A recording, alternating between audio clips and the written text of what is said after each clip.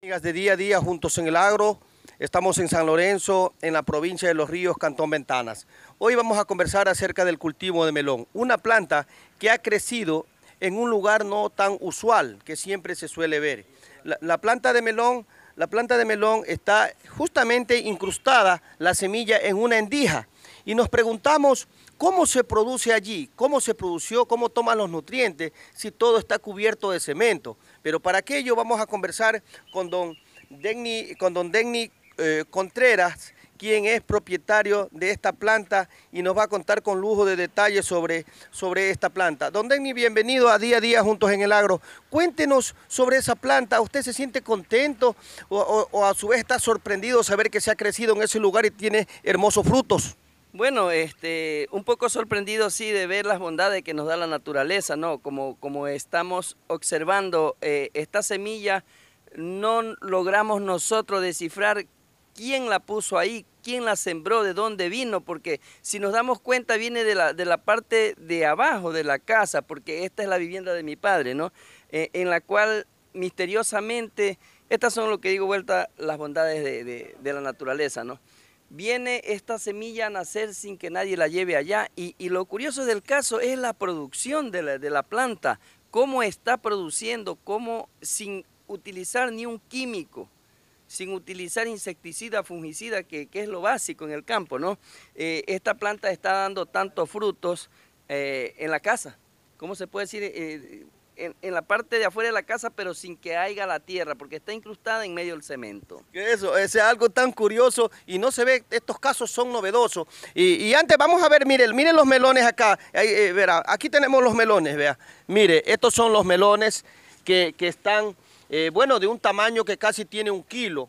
¿No? Casi tienen un kilo y más. Y, la planta se la ve sin problema de plagas ni enfermedades, totalmente bien, no hay ataque de plagas, no hay trips, no hay moscas, no hay absolutamente nada. ¿Usted cree, don Denny, que, que esta plantación, eh, esta plantación, este, si, si así se estuviera en el campo, ¿usted cree que serían buenos resultados tener un cultivo como este? Bueno, yo creo que un cultivo de esto sería lo más maravilloso porque realmente a todo, a todo costo sería un, un éxito porque realmente una producción de esta naturaleza eh, daría muchos ingresos económicos, ¿verdad? Eh, dentro de, tratando del, del, tema de la planta, oiga, eh, pero este, nosotros no tampoco entendemos que si la planta necesita de, de nutrición, control, ¿verdad? ¿Y usted qué cree que esa planta tiene, tiene algún, el cemento tendrá algo que la pueda ayudar a nutrirse y a producir de esa manera? ¿Qué piensa usted? Bueno, le comento que esta casa tiene aproximadamente unos 45 años eh, construida. Yo no sé estos nutrientes cómo no se han ido. A lo mejor pienso que esto ha servido para seguir este, recopilando la cantidad de nutrientes que necesita una planta. Porque si, ven, si bien es cierto, si, si me ayuda el camarógrafo y hace la toma, mire cómo está la casa, ¿no? La casa está en perfecto estado, solo es en en, en, una pequeña abertura, abertura de la casa en, en la cual eh, nace esta planta y produce tan hermosos frutos. Bueno, es difícil eh, describirles el sabor que tiene cada fruta. Claro. Es un sabor maravilloso porque es 100% natural. No, no hay ningún tipo de pesticida que la pudo ver intoxicado, ¿no? No, es 100% natural y yo digo, pues si, si, así hiciéramos la agricultura, caramba, estuviéramos fuera de tantas enfermedades porque conocemos que, que, que los químicos es que está terminando la generación, ¿verdad? Sí, eh, pero en este caso yo veo que, por ejemplo, mire, una planta son, tiene, al momento se le ven dos, cinco, cinco frutos, ¿verdad? Mire, supongamos que una hectárea lleva 10 mil plantas, plantas de, de, melón, lleva 10 mil. Imagínense que 10 por, sería 50 mil melones que iríamos a producir, sería un, una rentabilidad semejante para el agricultor. Por supuesto, pero no es que solamente hay estos melones, ya eh, esta planta ha sido cosechada por, se, ha, se, han cosechado seis frutos, ¿no? Entonces, entonces imagínense, seis frutos se han cosechado y hay esto Qué maravilloso, ¿verdad? Y vemos que la planta da más, porque eh, todavía vemos que está en estado de floración, ¿verdad?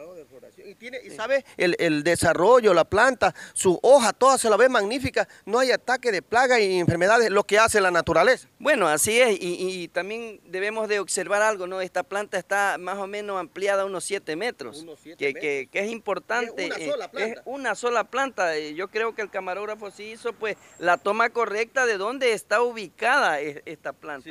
Caminemos para que nos avance allí. Ahí mírele en la abertura, póngale bien cerca para que los amigos que nos ven en el Ecuador y el mundo a través de día a día juntos en el agro vean de dónde nace la planta. Imagínense, pero ¿qué nutriente puede tomar si todo es cemento? Aquí tiene, por ejemplo, si medimos, tiene dos 40, 50 centímetros de altura de cemento. ¿Qué, ¿Qué nutriente toma allí? ¿Qué no puede tomar? No hay nada. Realmente es maravilloso el, eh, el mundo de la agricultura y las bondades que nos da pues el suelo, ¿verdad? Imagínense estando nosotros aquí en la provincia de Los Ríos, exactamente en Ventanas, en el, en el recinto San Lorenzo, eh, si eh, esto produce debajo de, de, de, de, un cimiento, ¿verdad?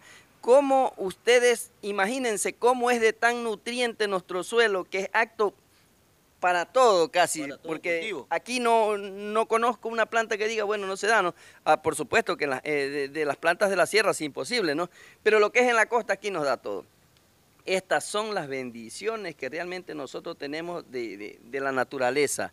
Es así pues como se produce en la provincia de Los Ríos, nuevamente digo, pues del Cantón Ventanas y del recinto San Lorenzo. ¿verdad? Bueno, eh, muchísimas gracias, eh, Denny, este, gracias por tu informe, gracias por la invitación a ver estos novelos de este lugar del país. Nosotros vamos a un corte y volvemos con día a día juntos en el agro.